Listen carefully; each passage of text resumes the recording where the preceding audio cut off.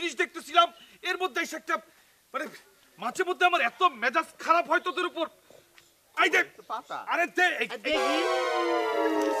মামা মামা মামা। তুমি তুমিই পারবা আমাদের সমস্যা। সমাধান করে দিতে মামা। আচ্ছা ঠিক আছে। ঠিক আছে ঠিক আছে। গাছের পাতা নিয়ে একটা গবেষণা করতেছিলাম। আপাতত এই গবেষণায় স্টপ আমি সমস্যার সমাধান করে দিতে পারব।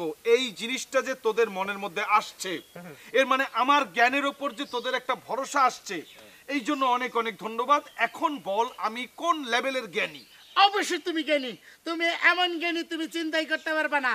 তবে ওই যে লাইব্রেরিতে বই থাকলে যেমন খোলার আগ পর্যন্ত কেউ বলতে পারে না, ওইটার ভিতরে কি আছে, খোলার পরে বলতে পারে। তুমি ওই রকম তবে একটা আনন্দের বিষয় কি জানো? তুমি কিন্তু বিয়ে ফেল তারপরেও তুমি এই, এখানে দাঁড়া। এখানে দাঁড়া। দুজন পাশাপাশি দাঁড়া। একদম সোজা হয়ে দুইজন পাশাপাশি দাঁড়ায় থাক কোনো নড়াচড়া হবে না। এখন আমি বলব তোরা শুনবি। আমি বিয়ে ফেল করছি এই বিষয়টা মাথায় আছে। কিন্তু আমার জ্ঞানের বিষয়টা তোমাদের মাথায় থাকে না। পৃথিবীতে যত বড় বড় বিজ্ঞানী ঋষি মনীষী তারা কিন্তু সবাই স্কুলে ফেল করছে। নিউটন আইনস্টাইন এডিসন এরা বড় বড় বৈজ্ঞানিক কিন্তু এরা সবাই ফেল করছে। একটা কথা সব সময় মনে রাখবি তোরা যত ফেল করবি তত খাঁটি জ্ঞানী হবি। মামা এরা কারা? কোন গ্রামে থাকে? বংশ পরিচয় কি? নাম শোনা বুঝো না এটা বিদেশি বিদেশি। ও বিদেশি। হ্যাঁ মনে পড়ছে? মামা আমার মনে পড়ছে আমি অত বিদেশিদের নাম বইয়ের ভিতরে পড়ছি আমি তো ছাত্র খারাপ না।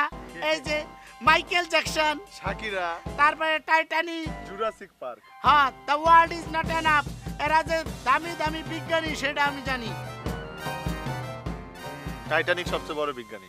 এই হ্যার সেই তো জুরাসিক পার্ক। আচ্ছা বাবা আমিও তো তোমার মতো ফেল করছি।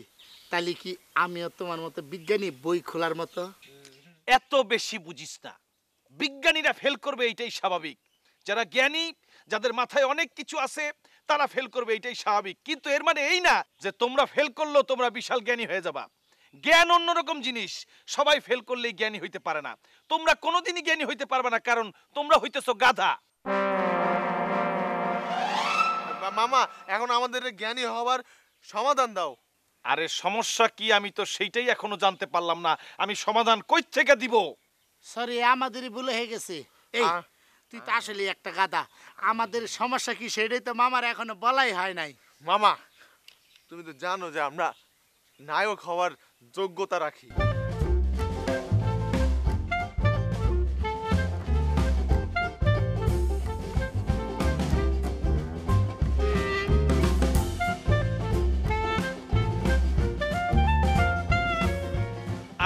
আচ্ছা এখন আমি পুরা ঘটনাটা বুঝতে পারলাম।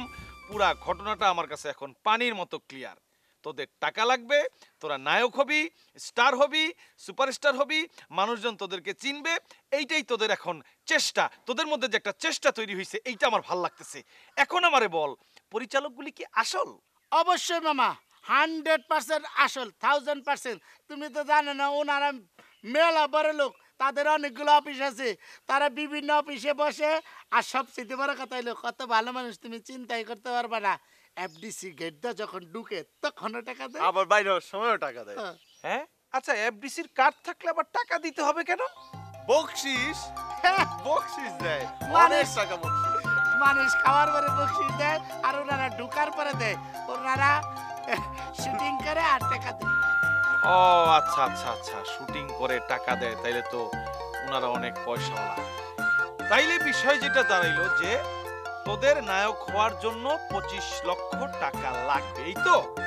মামা ওই যে পঁচিশ লক্ষ টাকা নগদ বুঝিয়া পাইয়া অবশিষ্ট টাকা বাকি রাখিয়া তুমি খালি একটু কবুল বল আচ্ছা ঠিক আছে। তাইলে তোর বাবার সঙ্গে আর তোর মায়ের সঙ্গে আমি বিষয়টা নিয়ে আলাপ আলোচনা করতেছি।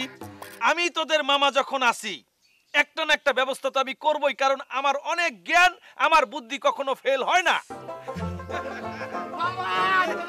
আচ্ছা আচ্ছা ঠিক আছে ঠিক আছে মোটরসাইকেল স্টার্ট দে মোটরসাইকেল স্টার্ট দে তাড়াতাড়ি হ্যাঁ মোটরসাইকেলে তেল আছে তো তেল আছে মামা হ্যাঁ। কালকে রাতে তেল নেওয়ার চেষ্টা করছিলাম হ্যাঁ। কিন্তু পাম্পের মালিক খুব বাজি আচ্ছা। পাম্প বন্ধ করে বলে দুশো টাকা দাও দুশো টাকা দাও আচ্ছা টাকা আমি পরে দিব বাকি করতে হবে 200 টাকা দাও। আচ্ছা ঠিক আছে ঠিক আছে আমি টাকা দিতেছি? তাড়াতাড়ি দাও। হ্যাঁ ঠিক আছে। আরে বন্ধ হয়ে যাবে। এই যে আমি আপাতত একশো টাকা দিলাম।